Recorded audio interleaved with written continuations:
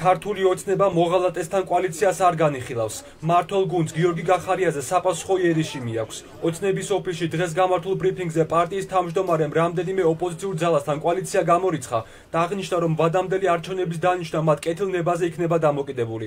კობახიძემ დღეს კიდევ ერთხელ განმარტა ის მიზეზები, რის გამოც ოცნება მიშელის დოკუმენტი ანულირებულად გამოაცხადა. ადგილობრივი თვითმმართველობის არჩევნების შედეგზე არავითარი ფორმით არ იქნება დამოკიდებული რიგარეშე არჩევნების დანიშნის საკითხის გადაწყვეტა. რომ წავიღოთ 3% როლოსავით, მაინც არ დაინიშნება თვითმმართველობის უფროსურად რიგარეშე საპარლამენტო არჩევნები. ნუ ნაცმოძრაობასთან ეს არის ჩვენთვის აბსოლუტურად გამორიცხული. რაც შეეხება გახარიას, გეტყვით პირდაპირ, არსებობს პოლიტიკაში თუ ზოგადად პრაქტიკაში მაგალითები, როდესაც მტერთანაც გარიგდებიან ხოლმე, ხო? პოლიტიკაში ხდება ასეთი რამ, მაგრამ არავინ არ იგდება მოღალატესთან. წარმოიდგინეთ, რომ იყოს რომ იყოს პირობითად სამშვიდობო შეთანხმება დასადები რუსეთთან. წარმოიდგინოთ ასეთ ვითარება და ხელი რომ მოვაწეროთ შეთანხმებას ბიბილოვთან და რა გვარია ბჟანიასთან. იგივეა, როდესაც გჭირდება შენ პოლარიზაციის დასრულება და ხელსაწერო შეთანხმებას ვაშაძესთან და ხაზარაძესთან. ეს ხო აბსურდია. ეს განცხადებები ქართული ოცნების თავმჯდომარემ პარტიის პოლიცაბჭოს ხდომის შემდეგ გააკეთა. მართლმა გუნდმა საზოგადოებას რეგიონებში მერობის კანდიდატები წარუდგინა, საიდანაც ქალი მხოლოდ სამია. ჩამონათვალში არჩილ თალაკვაძის ძმა ავთანდილ თალაკვაძე და ოლიმპიური ჩემპიონი ვლადიმერ ხინჩეგაშვილი. კობახიძე ამბობს, რომ კონსულტაციების დროს პრიორიტეტი კანდიდატების პროფესიონალიზმი იყო. კამპანიის ლიდერი საქართველოს მასშტაბით იქნება პრემიერ-მინისტრი ირაკლი ხარიბაშვილი. გორში ჩვენი მერობის კანდიდატი იქნება ყველასათვის საამაყო ოლიმპიური ჩემპიონი ლადო ხინჩეგაშვილი, საგერი გიორგი ნემსაძე, საქართველოს საფეხბურთო ნაკრების ყოფილი წევრი, ოზურგეთში ავთანდილ თალაკვაძე იქნება ჩვენი მერობის კანდიდატი, ერთ-ერთი წარმატებული, ძალიან წარმატებული საჯარო მოსამსახურე. პროფესიონალიზმი არის ერთ-ერთი მთავარი კრიტერიუმი, რითაც ჩვენ მიხემძღვანელეთ, ჩვენთვის პრიორიტეტია ბუნებრივია თითოეული მუნიციპალიტეტის განვითარება. ქართულმა ოცნებამ ყველა ვალდებულება შეასრულა. საქართველოს პრემიერ-მინისტრი მიშელის დოკუმენტის ანულირების შემდეგ პირველ კომენტარს აკეთებს. ირაკლი ღარიბაშვილი არ პასუხობს მთავარ კითხვას. იყო თუ არა მათი ეს ნაბიჯი ევროპის მოტყუების კიდევ ერთი მცდელობა. თავრობის მეტაორმა დღეს თითიისევ ნაციონალური მოძრაობისაკენ გაიშვირა და დოკუმენტის გაუქმებაზე პასუხისმგებლობა ოპოზიციურ პარტიას დააკისრა. ღარიბაშვილმა ოპონენტები დღეს ისევ დესტრუქციულებად მოიხსენია. ჩვენ 100 დღის განმავლობაში პრაქტიკულად სამხრივად ვასრულებდით ვალდებულებს, რომელიც ჩვენ ავედით. სრულად უპასუხისმგებლო დამოკიდებულება აჩვენა ნაციონალურ მოძრაობამ სააკაშვილის დავალებით. ჩვენთვის იყო ძალიან მნიშვნელოვანი ნაციონალური მოძრაობის, როგორც მთავარი ოპოზიციური და დესტრუქციული ნამოდროულად პარტიის პოზიცია. მათ შეგნებულად არ მოაწერეს ხელი შეთანხმებას, შეურაცხყოფა მიაყენეს ევროკავშირის ამერიკის შეერთებულ შტატებს და ყველას დამტებისკენ ჩვენ ახალ ჩვენდება განვითარება ქვეყნის პრემიერი დღეს მედიასთან მხოლოდ რამდენიმე წუთით გაჩერდა. თავისი სათქმელი თქვა და დამატებით კითხვებს აღარ უპასუხა. მისი მისამართით გაჟღერებული შეძახილების შემდეგ, რომ მას კითხვები შეეშინდა, პრემიერმა ხელის ამოძრაობით ჟურნალისტები თავისთან მიიხმო, თუმცა რამდენიმე წამში გადაიფიქრა. მანქანაში ჩაჯდა და ადგილი დაცვის თანხლებით დატოვა. რომელიც არის აუხსენით იმის მიზეზი რის გამო დააყიდავთ დავნილებ ეცნიათ მოგწანდით მაშინ. შემომიშვას თქვენმა დაცვამ. შემომიშვას. საბოლოოდ მაიჩეგეშინდათ ბატონო ირაკლი დღეს ბევრად უფრო ხისტი აღმოჩნდა ქართული ოცნების სიის ყოფილი პირველი ნომერი, რომელმაც ოცნების ლიდერშიპის წინააღმდეგ კიდევ ერთხელ გაილაშქრა. კითხვაზე იყო თუ არა ოცნების ეს ნაბიჯი ივანიშვილთან შეთანხმებული. გიორგი გახარია პასუხობს, რომ მას ოცნების ბოსების გაბედულებაში ეჭვი ყოველთვის ეპარებოდა. გახარია ფიქრობს, რომ შეთანხმებიდან გასვლა კიდევ ერთი დასტურია, რომ ოცნებას არჩევნებში დამარცხების შეეშინდა. შეფასები შეიძლება სხვადასხვანაირი იყოს. ჩემთვის პერსონალურად ეს არის ნუ შიშის გამოხატულება. რადგან აშკარა აშკარა ხდება უკვე რომ მართლ ძალას უჭირს ქვეყანაში მიმდინარ მიმდინარე გამოწვევებზე პასუხის გაცემა და ეს აისახება ჩვენს მოქალაქეების განწყობებში გადაწყვეტილებებში. მართველი პარტია ძალაუფლების შენარჩუნებისთვის სამწუხაროდ ჩემთვის ეს დიდი დიდი იმედგაცრუება ყველაფერს აკეთებს იმისთვის რომ შეინარჩუნოს ძალაუფლება და აქ დღეებზია საუბარი სინამდვილეში. ქართული ოცნების მხრიდან მიშელის დოკუმენტის გაუქმების შემდეგ ოპოზიცია ჯერ კიდევ მსჯელობს, რა პასუხი უნდა გასცენ ოცნების მორგ პოლიტიკურ ნაბიჯს. პარლამენტის მანდატი უკვე დატოვეს ნიკა მელიამ, ზურაბ ჯაფარიძემ და თამარ კორძაიამ, თუმცა ხელისუფლების ოპონენტები ამ საკითხში ერთიანები ისევ არ არიან. საპარლამენტო ოპოზიციის ნაწილი დარწმუნებულია, რომ ცხელ გულზე ამ დარბაზიდან გასვლა პოლიტიკური უმწიფრობის ნიშანი იქნება. ნაციონალურ მოძრაობაში კი ამბობენ, რომ პარლამენტში მხოლოდ იმიტომ რჩებიან, რომ პროპორციული სისტემის მიღებას დაუჭირონ მხარი. საქართველოს კონსტიტუციაში განისაზღვროს, რომ ყოველი შემდგომი არჩევნები საქართველოში ჩატარდება პროპორციული წესით, რომ ბარიერი იქნება დაბალი, რათა ქართული ამორჩევლის არც ერთი ხმა არ დაიკარგოს. აი ეს მისია დარჩა საქართველოს პარლამენტ შესასრულებელი და იმის გამო რომ ქართული ოცნება კიდევ ერთხელ არ გაექცეს ამ ვალდებულებას, ამ ვალდებულებას და არ თქვას რომ მათ არ ყოფნით საჭირო ხმები, ჩვენ ვინარჩუნებთ მანდატებს. ხელშეკრულებით დათქმული პირობის შესრულება რომ ფაქტიურად მიუღწეველია მათთვის, ეს უკვე დაინახეს და აქედან არის განპირობებული სწორედ მათი პანიკა, რომ როგორმე ეს ხელშეკრულება გააუქმონ. ხელისუფლება რომელმაც უკვე მერამდენეთ დამსახურებულად მიიკრა სტიგმა იმის შესახებ, რომ ის არის გადამგდები და მის სიტყვას ფასი არ აქვს და ფასი არ აქვს პოლიტიკაში კი არა მარტო, არც ბიზნესში, არც ინვესტორებთან. ოცნების ეს ნაბიჯები თვითონ უწესებს ამ ქვეყანას სანქციებს. ბოიკოტი ყოველ შემთხვევაში ამ ეტაპზე ნამდვილად არ მიგვაჩნია სწორგზად ოპოზიციური სპექტრი ბოიკოტს უცხადებდა პარლამენტს, მაგრამ ამ ბოიკოტს არანაირი შედეგი არ მოუტანია. ნაცმოძრაობის მიერ ხელშეკრულებისთვის ხელის არ მოწერა, რა თქმა უნდა, ქართულმა ოცნებამ გამოიყენა ხელშეკრულების ანულირებისთვის. ნუ რა თქმა უნდა, ეს არის პირველ რიგში ქართული ოცნების პასუხისგებლობა. ქართულმა ოცნებამ რა ნაბიჯიც გადადგა, ეს ხო ეს არის ნაბიჯი კვლავ დაპირისპირების გამწვავებისკენ, ხო? და რომ ჩვენ არ მივყვებით ამ ნაბიჯზე ქართულ ოცნებას ანუ ამისკენ გადადგმული ნაბიჯი იქნებოდა პარლამენტის დატოვება და კვლავ ბოიკოტში გადასვლა, ან საპირისპიროდ ვიქცევით და სინამდვილეში იმ ბერკეტებს, რომელსაც გვაძლევს საპარლამენტო მანდატი და რეგლამენტი პარლამენტის, ჩვენ შეგვეძლო ეს გამოგვეყარებინა ძალიან ეფექტურად. სანამ გადაწყდება ვინ დარჩება პარლამენტში და ვინ გავა, ოპოზიცია ისევ სანქციების ამოქმედებაზე საუბრობს. ხელისუფლების ოპონენტები ფიქრობენ, რომ ახლა ესაა ის ერთადერთი ბერკეტი, რომელიც ოცნებას წითელ ბარათს უჩვენებს. დასავლეთის მხრიდან სანქციების გამოყენებაზე საუბარი არასერიოზულია მართველი გუნდისთვის. ჩვენ არც ერთი წამით მოლაპარაკების დროს არ გქონია იმის ილუზია, რომ ქართული ოცნება შეიცვლება და ქართული ოცნება არ დაგვაყენებს იმ რისკის წინაშე რომ შეიძლება შეთანხმება დარღვეულიყო. ჩვენ ახლა მუშაობთ რომ სანქციები დაწესდეს ქართული ოცნების იმ ჩინოვნიკებზე რომლებმაც დაარღვიეს 19 აპრილის შეთანხმება.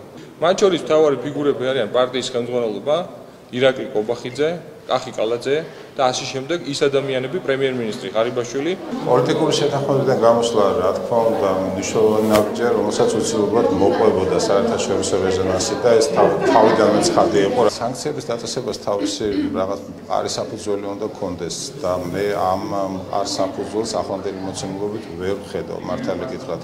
კიდევ ერთხელ იმეც ვიტოვებ რომ ამ დღეებში მიმდინარე ინტენსიური პოლიტიკური კონსულტაციები არ დატოვებს არც ერთ პასუხგაუცემელ კითხვას შარლ მიშელის დოკუმენტი პარლამენტზე ხელის მოწერიდან 100 დღის თავზე ოცნებამ შეთანხმება ამოწურულად და ანულირებულად გამოაცხადა.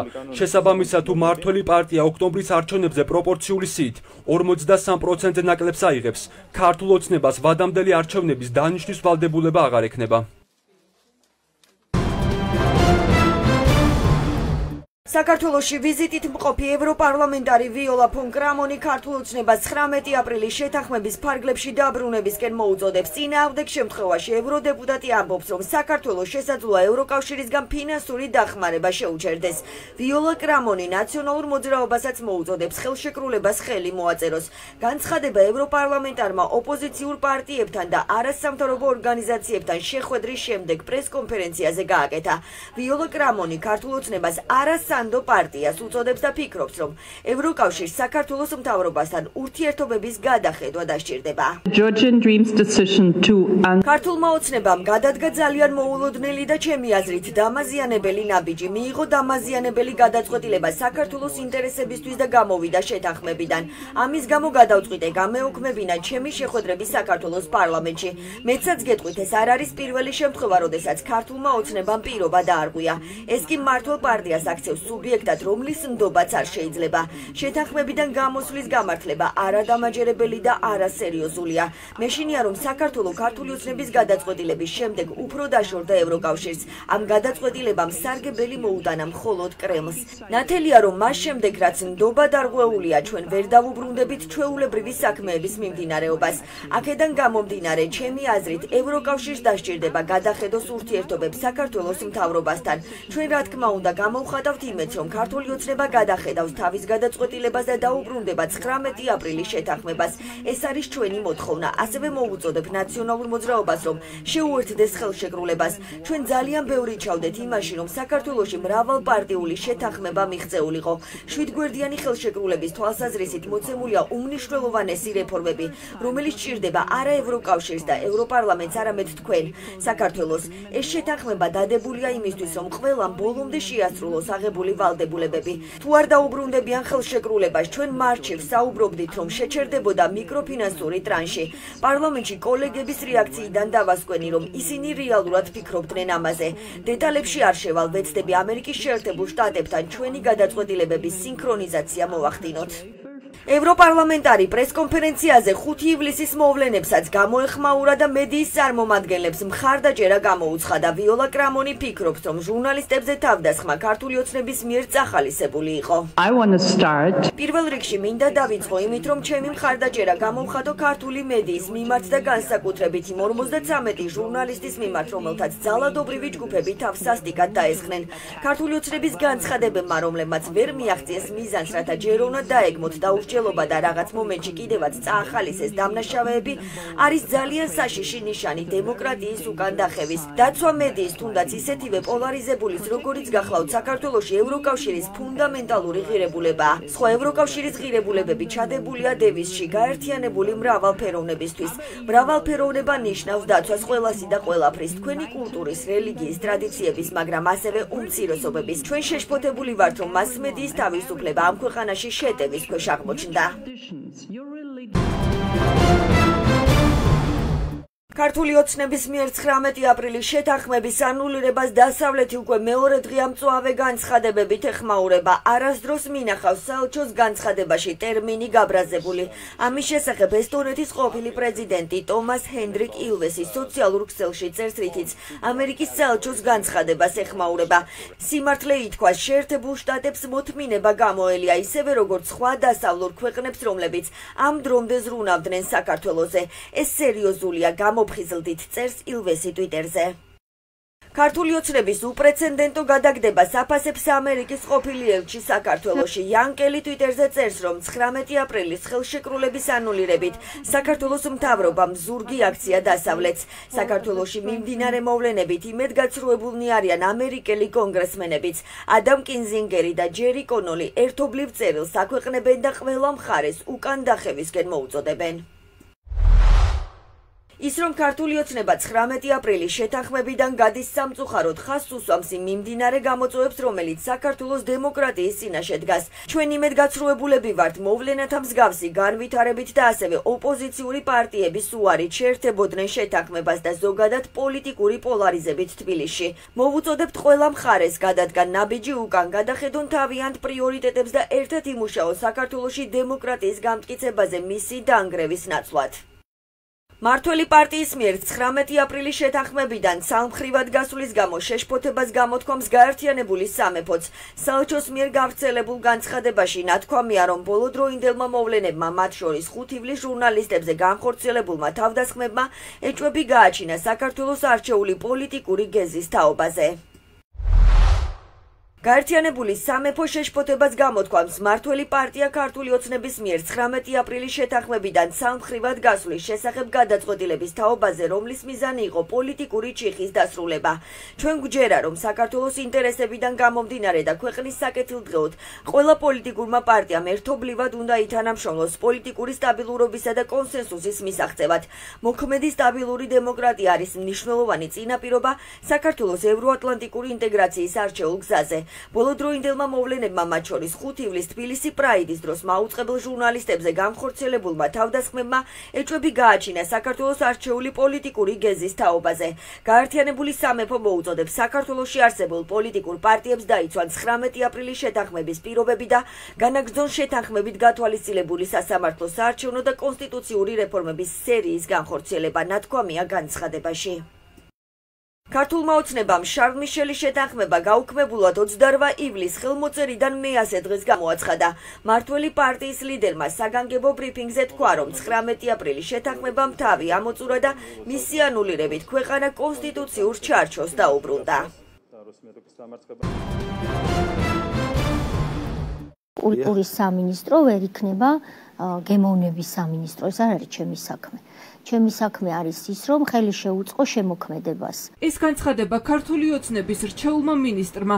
მაშინ გააკეთა, როცა კულტურის სამინისტრო ჩაიბარა, თუმცა მალევე კულტურის სფეროში დაანონსებული ჩარევებიც დაიწყო და ამის გამო ახლა მარტო დარჩენის ზღვარზეც აღმოჩნდა. თია წულუკიანს ხელოვანები უპირისპირდებიან. ლიტერატურულ პრემია ლიტერას ერთმანეთის მიყოლებით ნომინანტები ტოვებენ. ავტორების პროტესტის მიზეზი წულუკიანის მიერ ჟიურიში დანიშნული წევრი გახდა გახდა?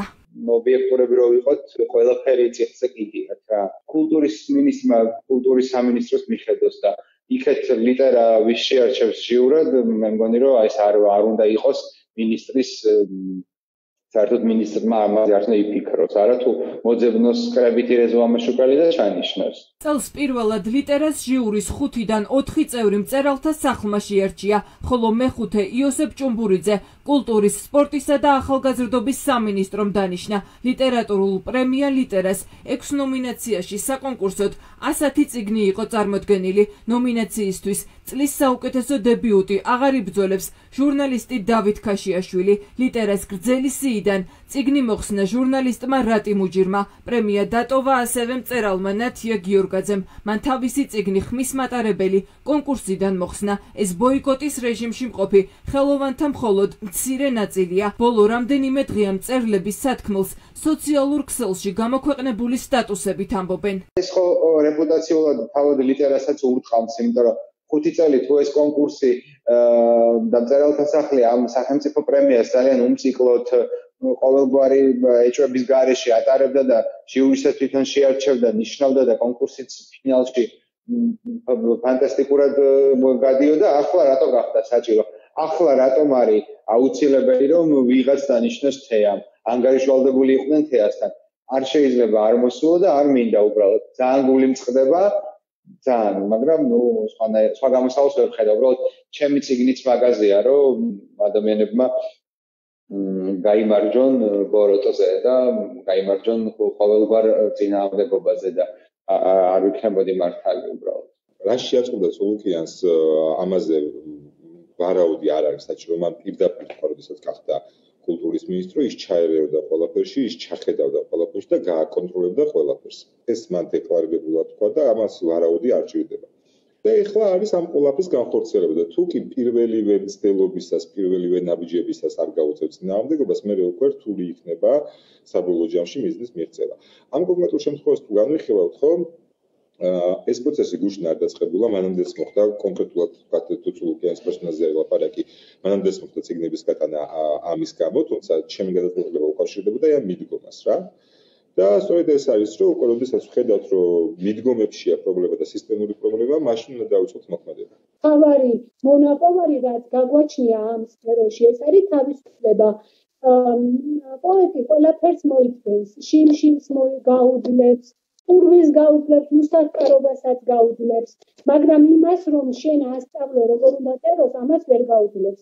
ლიტერა უნდა გადარჩეს. ანუ ერთადერთი ვისთვისაც ჩვენ უნდა ვიბრძოლოთ არის ის რომ კონკურსი უნდა გადაჭრეს. ავტორი აღარ დარჩა და ბურთის სათამაშოდ მოედანზე მათ შეხედულებას პროტესტისას თავად გაგაცნობენ. ვტოვებს ჟიურის წევრობას და კიდევ ერთხელ ამიცრუვდა ყოველგვარ ლიტერატურულ კონკურსებში მონაწილეობის სურვილი. ამ Facebook პოსტის ავტორი მწერალი რეზო თაბუკაშვილია, რომელიც ლიტერატურულ პრემია ლიტერას ჟიურის ერთ-ერთი წევრი უნდა ყოფილიყო. რეზო თაბუკაშვილის შემდეგ ლიტერატურული პრემია ლიტერ ლიტერას ჟიურიდან კიდევ ერთი წევრი ლელა კოდალაშვილი გავიდა. მიიჩნევს, რომ ახლა როცა მწერლები ასეთი ტემპით ტოვებენ კონკურსს, ჟიურის წევრად დარჩენას არანაირი აზრი აღარ აქვს. ჟიურიში დარჩენის აზრს ვეღარ ხედავს ვერც ოქტაი კაზუმოვი ლიტერატურად მცოდნე და მთარგმნელი საკუთარი გადაწყვეტილების შესახებ Facebook-ის პირად გვერდზე წერს და ამბობს, რომ წერალთა სახლი საფრთხის ქვეშაა და მის დასაცავად ბრძოლაა საჭირო.